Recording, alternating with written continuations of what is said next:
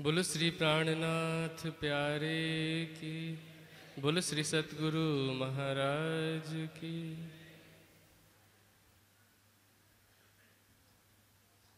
अब जाग देखो सुख जागनी, ए सुख सुहागिन जोग।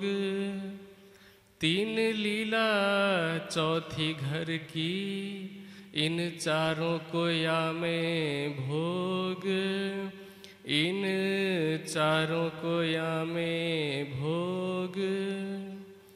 कहा न जाए सुख जागनी, सत ठौर के स्नेह। प्रणाम जी सुंदर साथ जी। प्रणधार सुंदर साथ जी। अक्षरातीत धामधनी श्रीराज जी। श्री इंद्रावती जी के हृदय धाम में विराजमान होकर कलश ग्रंथ के इस प्रकरण के माध्यम से, जो कि जागनी का प्रकरण है, हम सब सुंदर साथ को प्रबोधित कर रहे हैं और कह रहे हैं, कहिया न जाए सुख जागनी। पहली चौपाई जिसमें कह रहे हैं कि अब जाग देखो सुख जागनी जागनी के ब्रह्मांड में, जागृत होकर के, जागनी के सुख को देखना है और जागनी के ब्रह्मांड में सुख लेना है। और इस चौपाई में कहते हैं कि कया न जाए सुख जागनी। जागनी ब्रह्मांड में जागृत होने के बाद इतना सुख है कि इसके बारे में शब्दों में वर्णन करना संभव नहीं है। लेकिन शर्त ये रख दी कि जागृत होने के बाद। ब्रह्मांड जागनी का चल रहा है। अब प्रश्न ये होता है कि हम सुख किसको समझें? और हम सुख समझ किसको रहे हैं? सबसे पहले एक सुख है। जिसको हम शरीर अथवा इंद्रियों का सुख समझते हैं। और उसको अध्यात्म की भाषा में कहीं पर भी सुख या आनंद नहीं कहा है, हर जगह पे क्षणिक सुख शब्द का प्रयोग हुआ है। अर्थात ऐसा सुख है जो क्षण भर के लिए मिलने वाला है। तो क्या हम उसको सुख समझ रहे हैं? और अगर उसको सुख समझ रहे हैं तो वो जागनी नहीं है। लेकिन इसके बाद भी, उस क्षणिक सुख से ऊपर उठने के बाद भी, ऐसी परिस्थिति से बाहर आने के बाद भी, अब दो अलग अलग तरह के सुख होते हैं। संसार के सुख को हमने तिलांजलि दे दी। इंद्रियों के सुख जिनको हम शब्द, स्पर्श, रूप, रस और गंध कहते हैं, इन सभी सुख को हमने त्याग किया। और उस सुख को त्याग करने के बाद अब हम सोचते हैं कि चलो, अध्यात्म में आनंद है, अध्यात्म में सुख है। ये सच्चाई हमारे समझ में आ गई, लेकिन अब अध्यात्म में भी हम दो तरह का आनंद ले रहे हैं। हो सकता है कि आज की चर्चा या आज की जो भी बात है, बहुत सारे सुंदर साथ को बुरा लग सकता है, कष्ट पहुँच सकता है, लेकिन सच्चाई ये है कि हमने सोचा कि अध्यात्म में सुख है इसलिए हम अध्यात्म के साथ जुड़ गए, वाणी के सिद्धांतों के साथ जुड़ गए। हमने तारतम ग्रहण किया और हम इस जागने की राह पर चल पड़े, लेकिन हमने क्या किया? क्योंकि जीव का तो संस्कार है, जीव का स्वभाव है, चित्त की वृत्तियों में जन्म जन्मांतर के संस्कार भरे पड़े हैं। तो वो क्या सोचता है कि जो सुख हम भोग रहे थे अब तक, चाहे पिछले जन्म अनेकों जन्मों में, लाखों जन्मों में हो, चाहे इस जन्म में ज्ञान ग्रहण करने से पहले तो वो सुख, वो आनंद जल्दी से छूटता नहीं है। तो अब हमने क्या किया? जिस जिस सुख को हम संसारिक सुख कह करके छोड़ आए थे थोड़े दिन के लिए अथवा थोड़े समय के लिए। आज राज्य से जुड़ने के बाद भी, वाणी से जुड़ने के बाद भी हम वही सुख पाना चाहते हैं और दूसरे रूप में पाना चाहते हैं। जैसे उदाहरण के लिए, राज्य की पहचान होने से पहले हम अगर संसारिक फ़िल्मों में, क्लब में जाकर के नाचते होंगे, राज्य का ज्ञान पाने के बाद में वाणी समझने के बाद में अब हमने भजन में नाचना शुरू किया। ठीक है?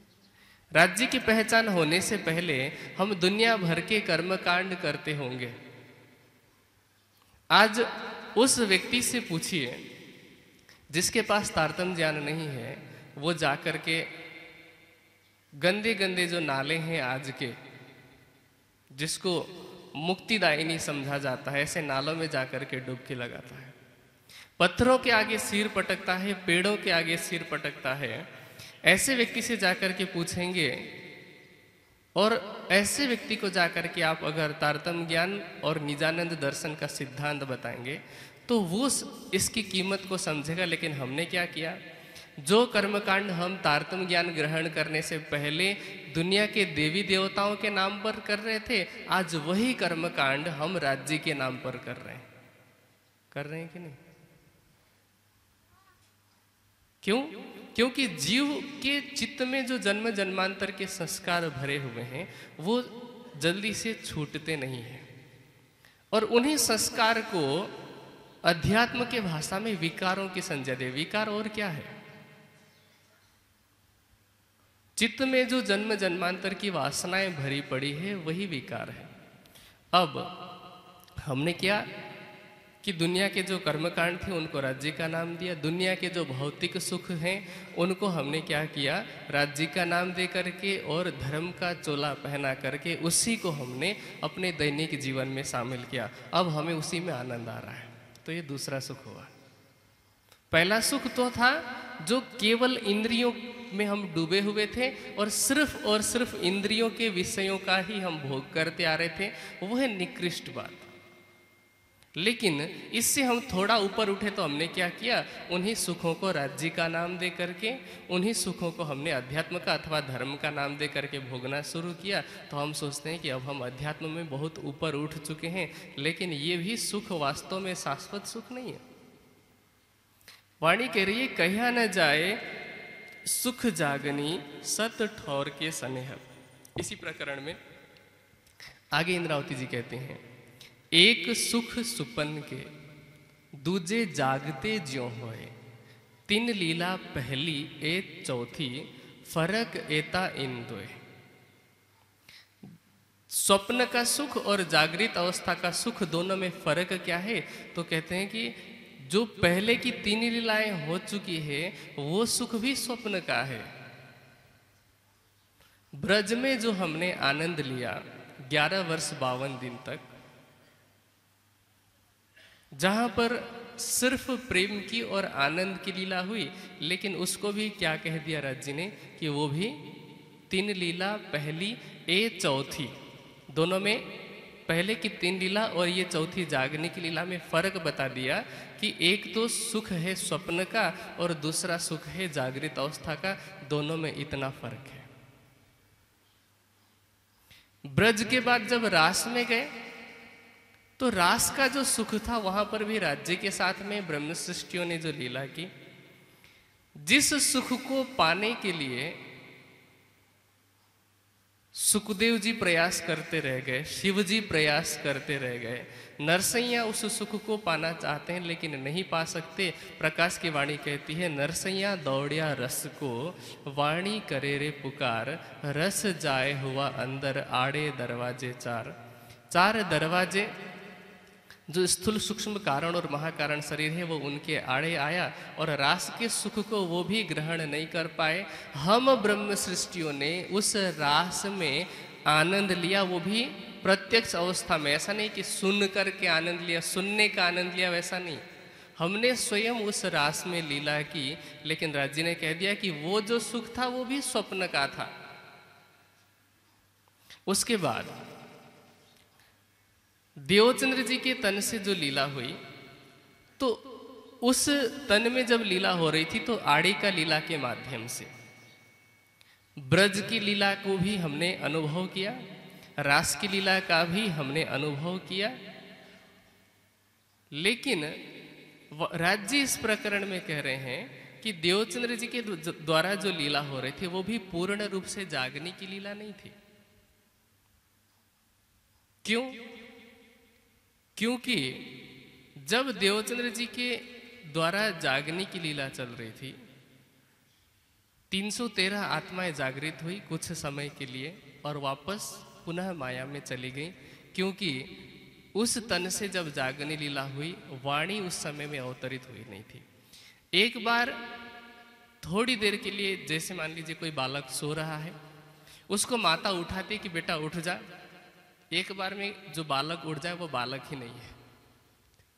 तो वो उठता है, जाग जाता है थोड़ी देर के लिए और उसके बाद वापस नींद में सो जाता है। वैसी ही अवस्था हम सब ब्रह्म सृष्टियों की हुई और देवचंद्र जी ने जगाया तो सही आड़ी का लीलाओं से जगाया, क्योंकि उस समय वाणी अवतरित नहीं हुई थी, इसलिए वापस माया में चले गए, क्योंकि दोबारा झकझोरने वाला कोई नहीं था।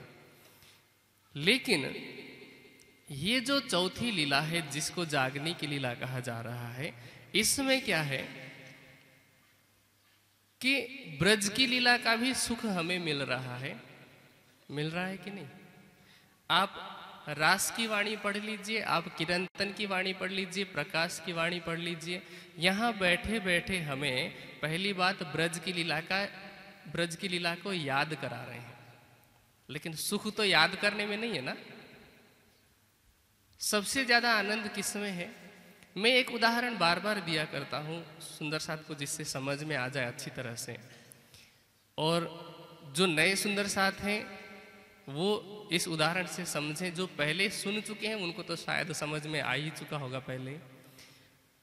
कि मान लीजिए कोई मैच चल रहा है क्रिकेट का या किसी भी प्रकार का खेल चल रहा है ग्राउंड में, उसका लाइव प्रसारण किया जाता है किसी न किसी स्पोर्ट चैनल के द्वारा। या फिर रेडियो के माध्यम से कमेंट्री बताई जाती है कि खेल ऐसा ऐसा चल रहा है। तो एक आनंद है जो खेलने वाले को मिल रहा है एक आनंद है जो देखने वाले को मिल रहा है और एक आनंद है कमेंट्री सुनने वाले को मिल रहा है। तीनों में आनंद है, है कि नहीं? अगर कमेंट्री में सुनने में आनंद नहीं होता तो आपने देखा होगा आज से 15-20 साल पहले जब टेलीविज़न में क्रिकेट अथवा किसी गेम का लाइव प्रसारण नहीं होता था। जब रेडियो पे कमेंट्री आती थी, तब रेडियो के आसपास में उतनी ही झुंड होती थी, जितनी टीवी के आने के बाद टीवी के सामने होती थी। तो आनंद तो कमेंट्री सुनने में भी है। उसके बाद टीवी आ गया। टीवी में देखने में भी आनंद आ रहा है। अथवा मान लीजिए स्टेडियम में जाकर के देखने में, दोनों देखना एक समान है। तो वहाँ देखने पर भी आनंद आ रहा है और खेलने वाले को भी आनंद आ रहा है। आनंद तो सबको मिल रहा है। लेकिन तीनों आनंद क्या एक जैसे हैं? नहीं। सबसे ज़्यादा आनंद किसको है? बताइए। सबसे ज़्यादा आनंद खेलने वाले को। उसके बाद देखने वाले को आनंद आता है और फिर सुनने वाले को आनंद आता है। अभी हमारी स्थिति क्या है? हम सब सुंदर साथ की, एक की नहीं, प्रत्येक सुंदर साथ की अवस्था ऐसी है। निन्यानबे प्रतिशत कि हम सब कमेंट्री सुनने में ही आनंद ले रहे हैं। हर साल और साल में एक बार नहीं, साल में कम से कम मान लीजिए ये शरद पूर्णिमा का कार्यक्रम है, ये एक बार आया। सरसावा में वार्षिक उत्सव होता है एक बार, फिर वडोदरा में वार्षिक उत्सव होता है और फिर अपने अपने गाँवों में आसपास जो छोटी मोटी गोष्ठियाँ होती रहती है, वहाँ पर चर्चा सुनते हैं। फिर आज तो यूट्यूब चैनल है ज्ञानपीठ का, उसमें भी रोज चर्चा सुनते हैं। चर्चा सुनते सुनते सुनते सुनते कितना समय बीत गया? सबके अलग अलग अलग अलग हिसाब हिसाब किताब है ना? कोई दस साल से सुन रहा है, कोई पंद्रह साल से, कोई बीस साल से। और सरकार श्री जब थे, उस समय में एक भजन गाया करते थे, सुंदर साथ कहते थे, इतनी वाणी चर्चा सुनकर दिल ना दहलता है, सारे बेसुध हो गए हैं, ऐसा लगता है। चर्चा सुनने में ही हम आनंद ले रहे हैं। और हमने एक एक ही चौपाई पकड़ ली। कहते हैं, महामती कहे, सुनो साथ, देखो खोल वाणी प्राणनाथ। एक दूसरी चौपाई पकड़ी हमें, चर्चा सुन जो रात ने दिन। चर्चा सुन जो दिन ने रात आपण ने त्रूठा प्राणनाथ। तो कहते हैं कि प्राणनाथ जी ने कहा है, प्राणनाथ जी प्रसन्न होकर के कह रहे हैं कि, सुंदर साथ जी, दिन रात चर्चा सुनिए। वो दिन रात चर्चा सुनने की बात क्यों कही पहले, ये तो समझे हम। जैसे अभी शायद दो या तीन दिन पहले की चर्चा में कोई सुंदर साथ उदाहरण दे रहे थे कि जैसे एक शीशा है, शीशे के ऊपर कोई मैल की परत जमी हुई है। अगर एक दिन साफ़ नहीं किया, दो दिन साफ़ नहीं किया, एक महीना साफ़ नहीं किया, एक महीने के बाद अगर हम साफ़ करते हैं तो क्या होता है? मुश्किल आती है, क्योंकि दाग काफ़ी पड़ चुका होता है, खूब रगड़ना पड़ता लेकिन जब बात करते हैं दिन रात चर्चा सुनने की, मान लीजिए हमने दिन में एक बार भी चर्चा सुनी तो वो जो चर्चा की तरंगे हैं और वो ज्ञान का जो विचार है वो हमारे मस्तिष्क में चलता ही रहता है। एक सुंदर साथ है उन्होंने इस भाव को समझाने के लिए बहुत ही अच्छा उदाहरण दिया था कि जैसे पंखा चल रहा है, ठीक पंखा को बंद भी कर दिया जाए तो तुरंत तो नहीं रुकता ना? पंखा बंद करते हैं तो जिस बल के साथ में, जिस फोर्स के साथ में घूम रहा है, उसको रुकने में कुछ समय तो लगता है। वैसे ही दिन में कम से कम एक बार हम वाणी पढ़ते हैं तो उसका प्रभाव काफ़ी समय तक हमारे हृदय में बना रहता है। हम एक बार अगर चितवनी करते हैं तो उसका प्रभाव पूरे दिन बना रहता है, और अगर सोते हुए चितवनी करते हैं तो उसका भी प्रभाव पूरे रात भर बना रहता है। तो इसलिए ये बात की जाती है कि चर्चा सुन जो दिन ने रात। दिन में भी चर्चा सुने, रात में भी चर्चा सुने। जब भी समय मिलता है, हम राज्य की बात करें, लेकिन वो सुख कौन सा हुआ? कमेंट्री का सुख हुआ ना? कमेंट्री का सुख इसीलिए, चर्चा इसलिए सुनाई जाती है ताकि सुंदर साथ को परम धाम का सुख याद आए। क्योंकि जागनी किसको कहते हैं? यही अपनी जागनी जो याद आवे निज सुख।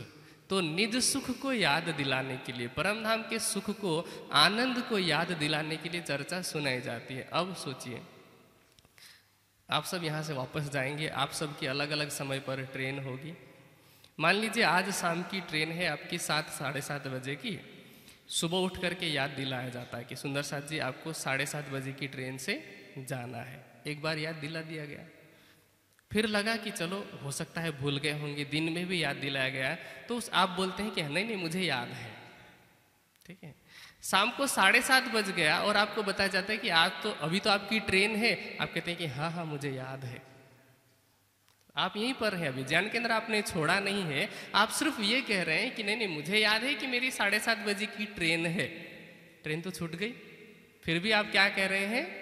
कि मुझे याद है। तो अगर सिर्फ़ याद दिलाना है कमेंट्री सुन करके तो सरकार एक दृष्टांत दिया करते थे कि एक बार किसी ने चिड़ियों को, जो बोलती है ना चिड़िया, पक्षी, उनको किसी ने सिखाया। कहते हैं कि शिकारी आएगा,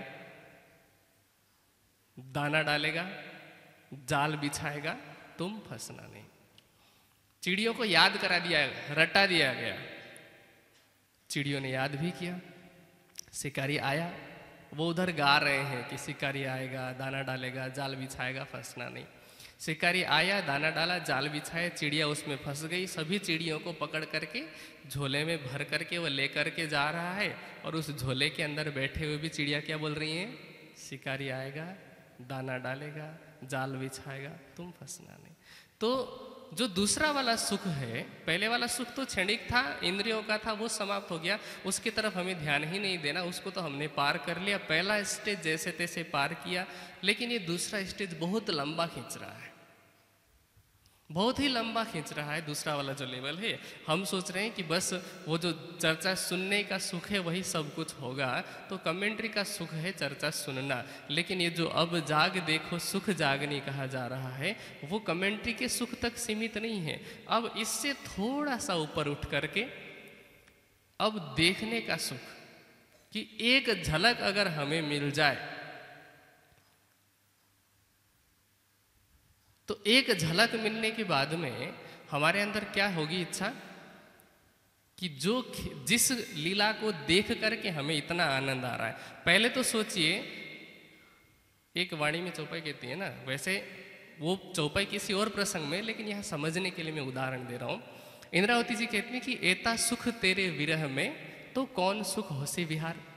विरह में जब इतना सुख है तो राज्य के साथ विहार करने में, लीला करने में कितना सुख होगा? अब सोचिए कि इस जागनी के ब्रह्मांड में राज्य को एक बार हृदय में बसाने पे वो सुख हो सकता है।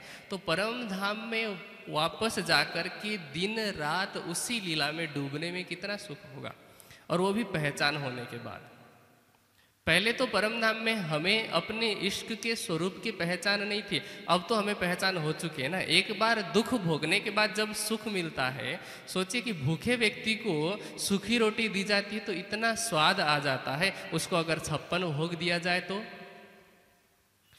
जो जीव इस संसार में क्षणिक सुख पाने के लिए, एक व्यक्ति, मान लीजिए इस संसार में कोई लड़का है अथवा कोई लड़की है, जो किसी से एक तरफा प्रेम करती है या करता है।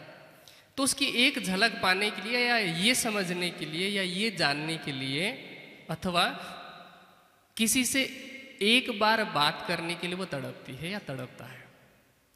और अगर बात करने को मिल जाए तो उसको कितना सुख होगा।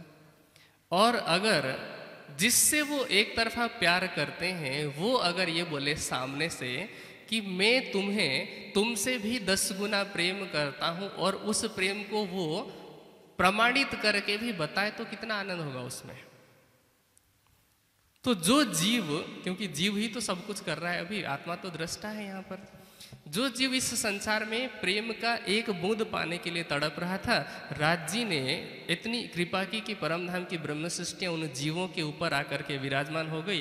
अब वाणी के माध्यम से उनको वो एक बूंद सुख हटा करके अब राज्य ने उनको अनंत का, अनंत के सुख के विषय में बताया। वाणी के माध्यम से बताया, चर्चा के माध्यम से बताया और चितवनी के माध्यम से अब बता, अब ये बता रहे हैं ये कह रहे हैं कि अगर तुम उस सुख में डूबोगे, अगर तुम उस सुख की एक झलक लोगे तो क्या होगा? एक बार झलक लेने पर अवस्था ऐसी बन जाएगी कि जब तक इस संसार में तुम जीवित हो, तब तक, जीवित रहने का मतलब जब तक तन नहीं छूट जाता, तब तक तुम्हें उसका स्वाद, उसकी लज्जत मिलती रहेगी। किसी को एक बार अगर परमधाम का दर्शन हो जाए, किसी जीव को तो क्या वो उसके स्वाद को छोड़ेगा? आपको अगर ये बता दिया जाए, ये बताने की भी ज़रूरत नहीं। आपको अगर परमधाम का दर्शन, राज्य का दर्शन एक बार हो जाए तो मैं ये बता सकता हूँ, इसको तो गारंटी के साथ कह सकता हूँ, कि आप सभी सुंदर साथ कहेंगे कि आज से हम प्रतिदिन चितवनी करेंगे। आज से हम प्रतिदिन वाणी पढ़ेंगे और प्रतिदिन वो सब कुछ करेंगे जो राज्य को पाने के लिए ज़रूरी है। लेकिन उस एक झलक को पाने के लिए राज्य कह रहे हैं कि अब जाग देखो, सुख जागनी। इस जागनी के ब्रह्मांड में जागृत हो जाना है। और वो एक झलक पाने के लिए करना क्या है? कहते हैं, अब जगाऊं जुगत सो, उड़ाऊं सब विकार। क्या करना है? विकार को उड़ाना है। क्योंकि पहला सुख जो क्षणिक था, उसको हमने छोड़ दिया। अब एक एक स्टेप करके हम संक्षेप में समझते हैं, क्योंकि समय तो शायद ज़्यादा नहीं है। क्षणिक सुख को हमने छोड़ दिया। कमेंट्री का जो सुख था, वो भी अब उससे अगर हम ऊपर उठे तो एक झलक पाने के लिए, अर्थात जो टेलीविज़न का जो सुख है, देखने का लाइव देखने का सुख है, अब उसको पाने के लिए करना क्या है? आपके पास टीवी भी है। ठीक है, आपके पास बैटरी भी है पावर भी है, सब कुछ है रिमोट भी है। लेकिन अगर चैनल अलग है तो?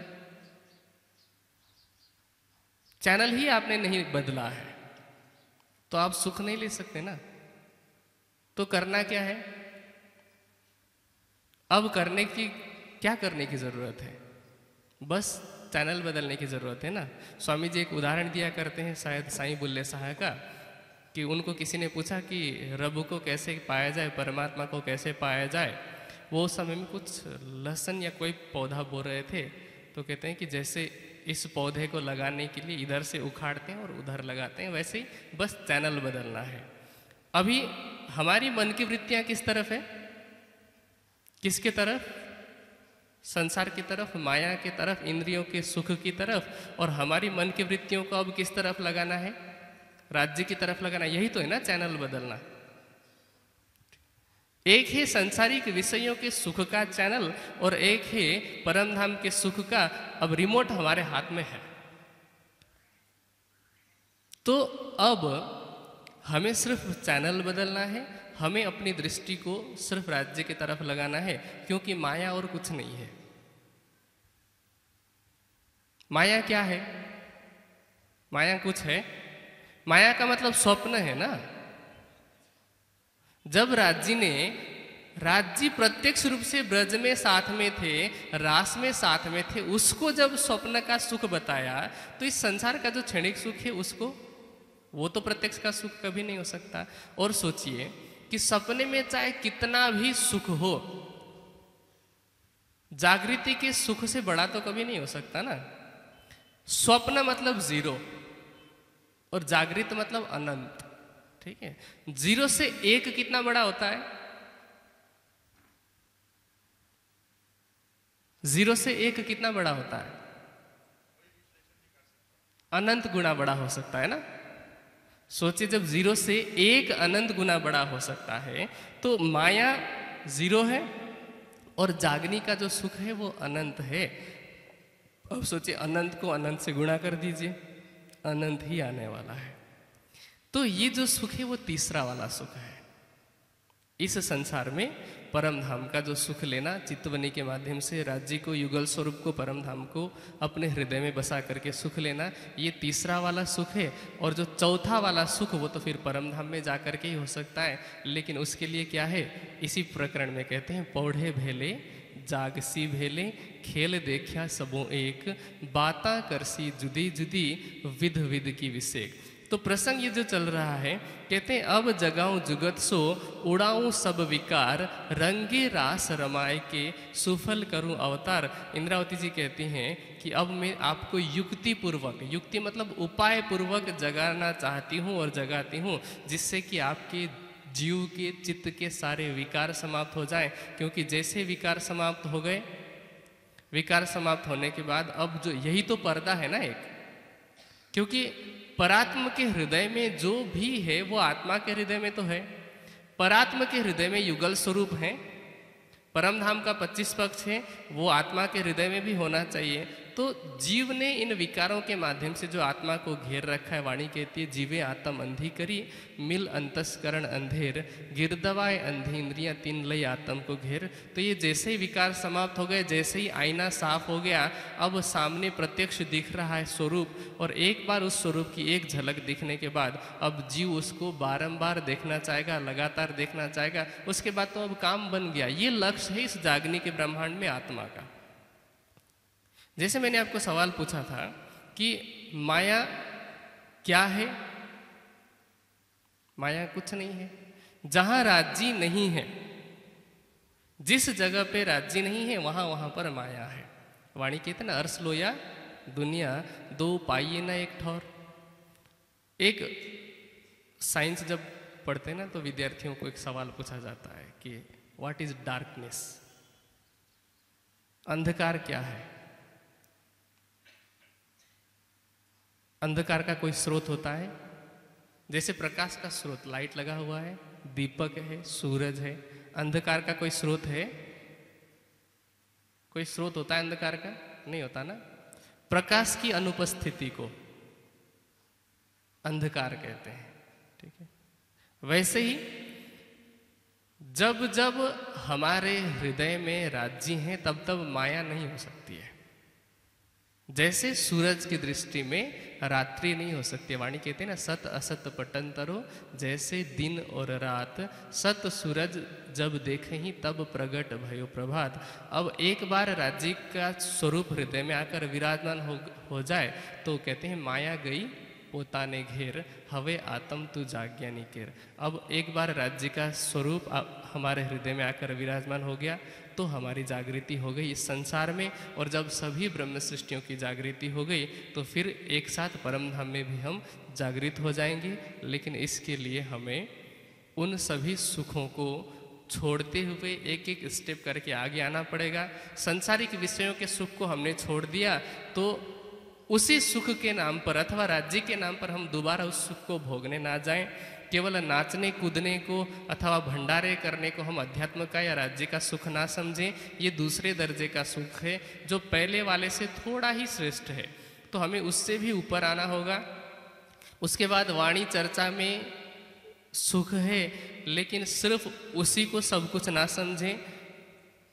वो सब कुछ इस इस तरह से है कि उसको सुन करके, समझ करके हम चितवनी में डूबें। लेकिन अगर हम केवल सुनने को ही सब कुछ समझते हैं तो फिर हमारी अवस्था उस चिड़िया जैसी हो जाएगी, जो कह रही थी कि शिकारी आएगा, दाना डालेगा। जैसे गुड़ कहने से अथवा शक्कर शक्कर कहने से मुँह मीठा नहीं हो जाता, वैसे ही केवल जागनी जागनी कहने से परमधाम परमधाम कहने से राजश्यामा जी कहने से अथवा तारतम का मेहर सागर का वाणी का पाठ पारायण ही करते रहने से जागनी नहीं होगी।